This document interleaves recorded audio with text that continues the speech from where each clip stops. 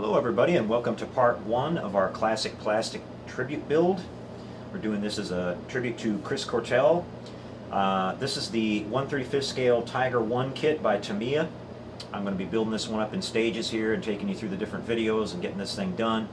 Uh, my goal for today is to get the chassis part of the tank finished and primed and painted and then we can go ahead and from there and add on all the drive wheels and everything, build this thing from the ground up. Uh, I've been working on the main part of the tank body here a little bit, the tub itself. I've got it all sanded down to get rid of all the mold lines and all the uh, burrs and everything that were on the uh, uh, parts here after we took them off of the sprue. I've got this rear bulkhead glued in place and I've got these two little uh, details here, part of the drive system glued on in the front. I've also been working on the turret a little bit and the main gun, which is an 88 millimeter. It was a really big gun for a tank at that time. It had a pretty substantial seam on the top and the bottom. The turret, or uh, the barrel itself had a, you know, was a two-piece assembly, and I've got rid of that entire seam. I've got this looking pretty nice. Uh, you know, you can uh, buy aftermarket metal barrels for these, but if you take your time a little bit and work with the plastic, you can get it to look pretty good. There's some variations in this kit. We're building this uh, the way it appears in the box, which is tank number th uh, 332. It was a summer 1943 version, sort of the early uh, production version of the Tiger tank. And as you go through the instructions, you'll see that there are some different parts that you want to use. This forward bulkhead right here, for example, is the one that we wanted to use. They give you some optional parts for the different versions of this tank, so we made sure we paid attention to that. The turret itself is in two pieces. I had to uh, glue it together and then uh, fix up the uh, seams. We filled that in with some putty and got it all sanded down and primed. Um, we're going to be dropping the lid onto this thing here, but I've got to build the uh, interior part of the barrel here first. There's a breech assembly and there's some small detail parts that go on the interior. It doesn't come with a full interior, unfortunately, but you wouldn't really be able to see it anyway once you put the top down on there, so not that big of a deal. Um, so we'll be working on that part a little bit later. Like I said, today we're going to be focusing on getting this part done. We've got all these uh, pieces here that need to get glued on to the sides of the tub here, part of the suspension. And uh, we'll get that done and then I'm going to take this over and prime it and get it painted before we put all the wheels on because it'll be hard to get paint in behind all that. I'm going to airbrush this whole thing. So we want to make sure we get all this done first.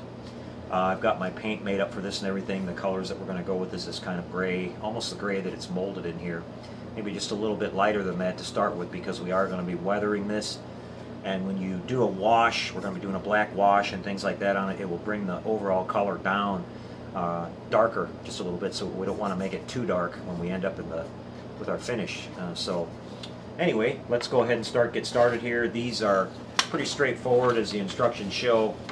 Uh, you have several of these that need to go on and they are basically glued on horizontal horizontal to the uh, sides of the uh, uh, tub part of the tank here, the bottom assembly. So uh, these parts here are all the same. You've got these little different ones here that go up towards the front, and they sort of have a index key as far as the way they go in. So I'm going to start putting those in first, and uh, we'll go ahead and get this thing going here.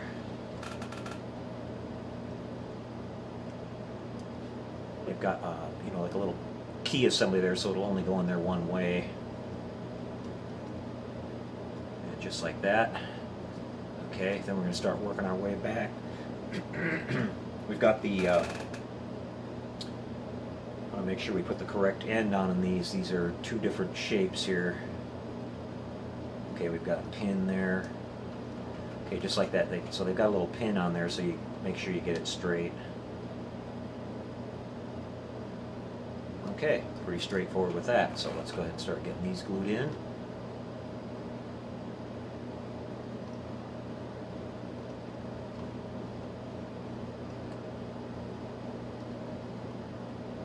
Couple at a time here.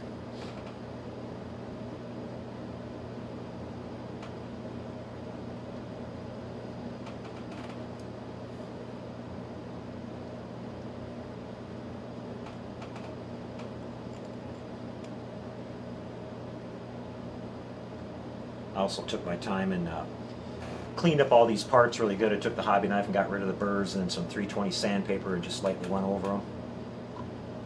Just to make sure we didn't have any problems with that.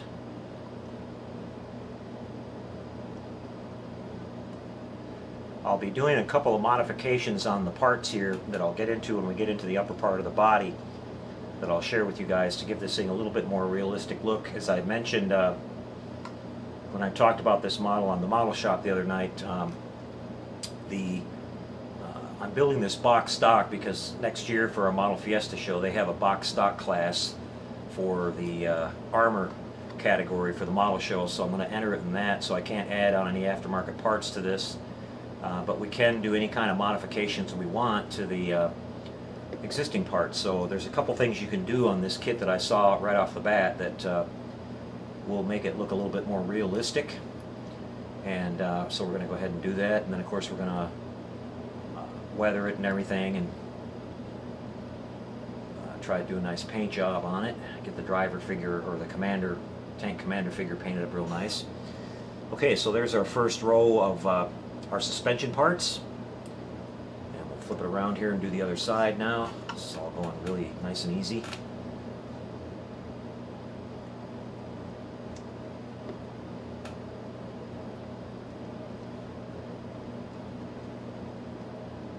Okay, we got that in the right spot. As I said, they have that keyed so you can't get it wrong.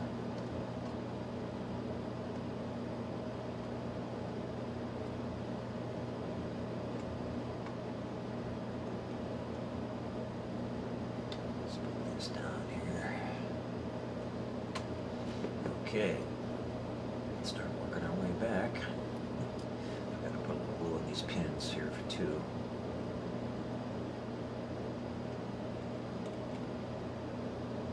Don't have to be too precise on the glue on these because this sits right over the top of it where you can't see it.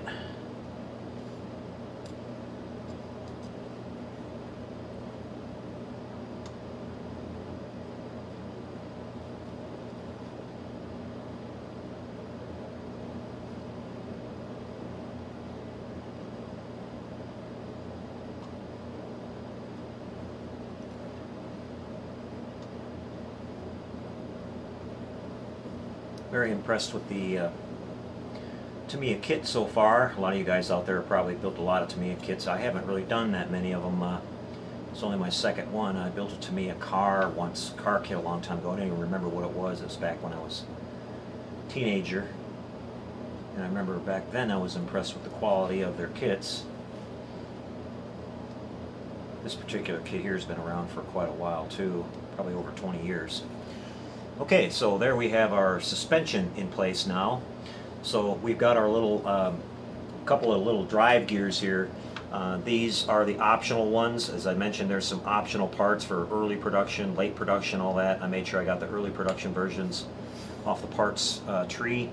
So we'll put those on. Uh, they basically go on right up here. These guys here go on at the back. Uh, but we, like I said, we want to go ahead and get this primed and painted before we do that so we don't have a lot of problem trying to get paint in behind that and stuff. So I'm going to take you guys over to the uh, painting area. I'm going to go ahead and prime it first, get my primer dry, and then I'll show you uh, the uh, airbrush painting that we're going to be doing on this. And as, as I said, I mixed up my own color for this, so be back with that in just a couple seconds. Alright everybody, we're ready to go with our paint uh, application onto our lower half of our tank here next. I've got this primed and it's been drying for a little while. Came out really good, nice and smooth. Did a little quick sand on it with some 600 grit paper. So I've got my paint mixed up. Mixed up this little uh, medium gray here so it's ready to go. And uh, I'm going to turn on my ventilation and get going on this.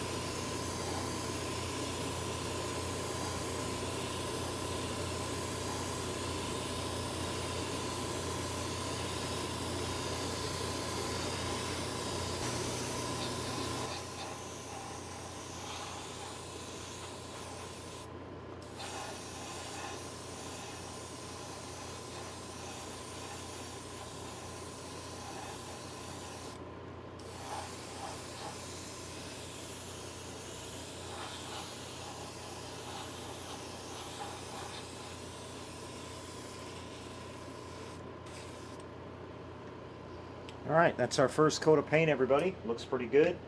Being that I'm using this solvent-based paint, this will uh, be dry in about probably 10 or 15 minutes. It's about 78 degrees here inside the shop. So we'll let that dry. We'll come back. We'll hit it with another coat, and then we'll move on back over to the bench and uh, take a look at how it came out and start putting together the rest of our assembly for our chassis.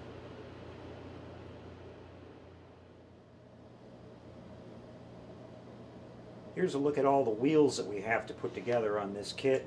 You can see that's a whole lot of wheels going on there, um, but we're going to be able to uh, uh, get this taken care of. Each one of these uh, wheels has a number stamped on the back side of it because there are particular ones that go together with each one. So I wasn't worried about pulling them off of the sprue and then not knowing which one was which. Um, so like I said, they're all numbered. What I'm going to be doing here is I'm going to take these and uh, take some tape and lay it down and I'm going to stick all these down on some tape so I can take it over to my spray area and get all these painted. Now, I'm not going to prime these because they have a little bit of um, texture on the uh, surface of some of these and I want to leave that detail there. Uh, I don't want my primer, which is a little bit thick, to uh, you know cover that up and lose that because when we do our weathering, our wash and our you know our we're going to use some uh, a wash and some uh, artist chalks and things like that to get our weathering on this that little bit of rough texture on there is going to, uh, you know, actually help pick that up a little bit. So uh, these up here, you can see I've got these assembled, the main drive sprockets and the, uh, you know, the rear drive wheels or whatever they are. But we've got to lay down a coat of paint on these, matching the, the you know, overall hull color on the tank. And then we're going to have to come back and hand paint the, uh, they, they actually have a little rim of black rubber all the way around on each one. So a lot of work to do there. Okay, so I'll get this set up over in the paint area, get them all taped down, we'll spray those, and then we'll come back again. Well, here we have all of our wheels lined up, and you can see this is quite a lot of wheels. I had to go through and uh, get all the uh, plastic burrs off of each one of them, clean them up, a little bit of light sanding around the edges.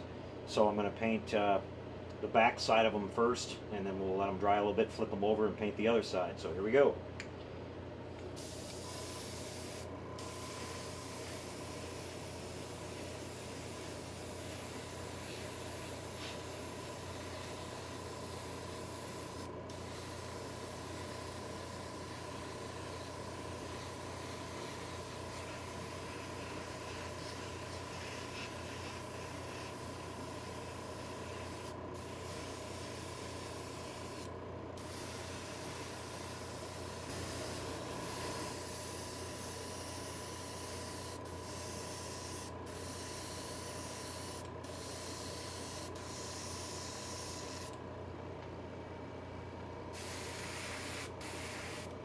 Okay everybody, and there we have it. Ran out of paint just at the right time.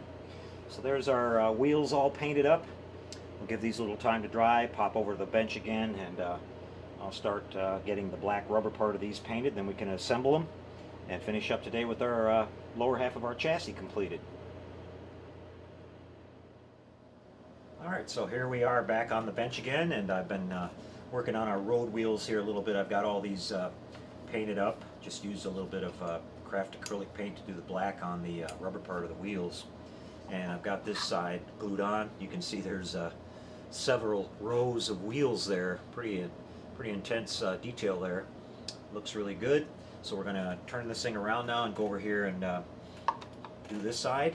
We've got to uh, start off here first with these sort of double road versions and it does make a difference on which side you put these on. The spacing on these is uh, important. So we got to put the long side towards the inside of the uh, bottom of the tub here. Let me get all these gathered up. Make sure we have them all.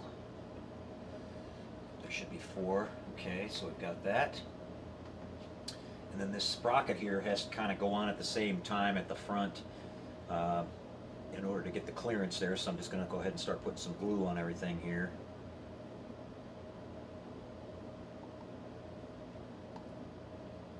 Remember correctly, it skips every other one.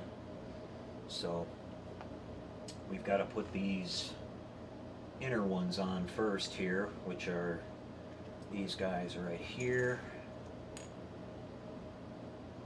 Should have four of those.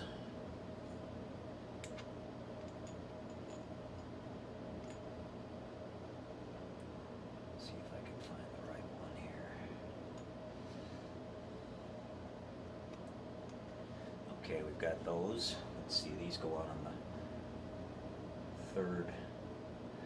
Gotta skip every other one here.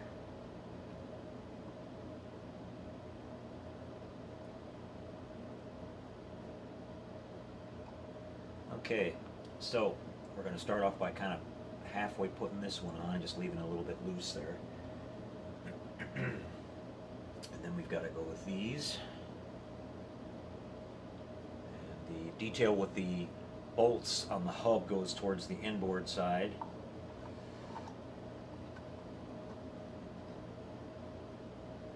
Okay, just keep that like that. Actually, this has to go behind that, I think. Oh, I'm one too far forward. That's why that's not right. Okay. Good thing we can use the other side for reference. All right, kind of leave that like that. And then we're going to skip every other one.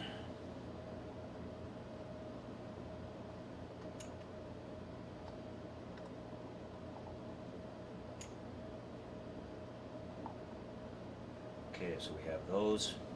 Now we can begin to put these on, remembering again that this has to be um,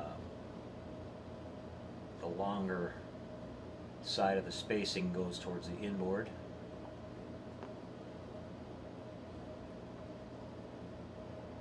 Now this can be pushed in place.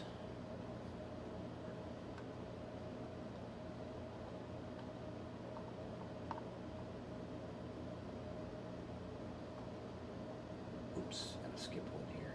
Oh, that's right.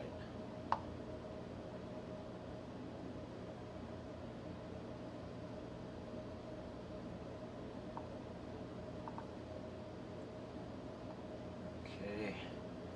And then we've got our rear drive hub that can go on now, I believe.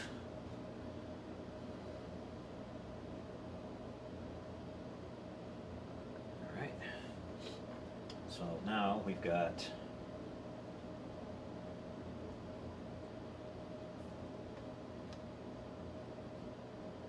another set of double road that go on here. These basically sit something like this. So we need to put glue on these little tips here.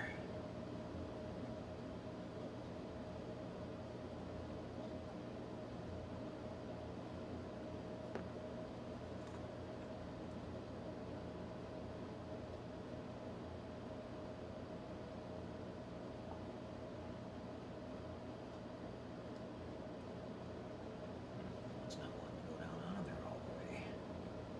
For some reason. There it goes.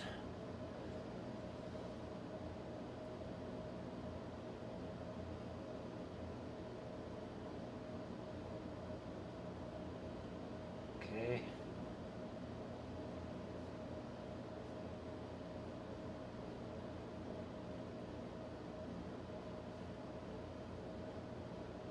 And then finally, we've got the last four that go on the very outer part here. Just kind of fit in these little sockets.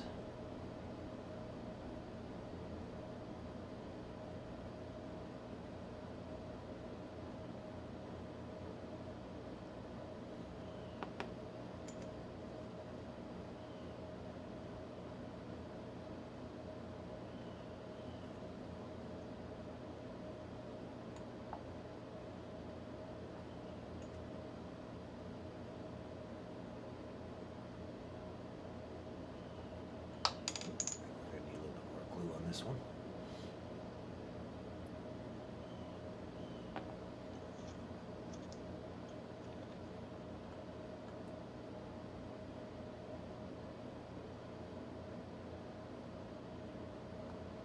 Down to our last one.